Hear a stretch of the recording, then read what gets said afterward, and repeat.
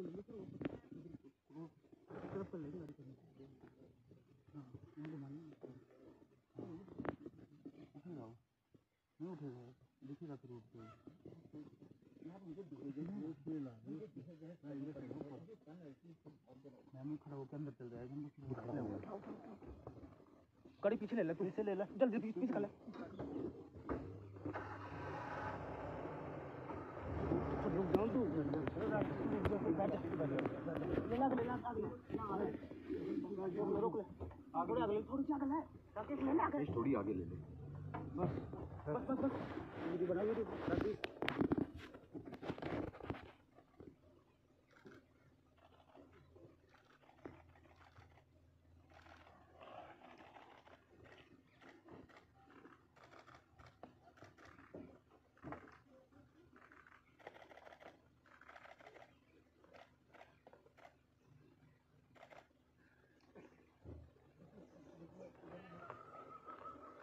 Line निकल ली।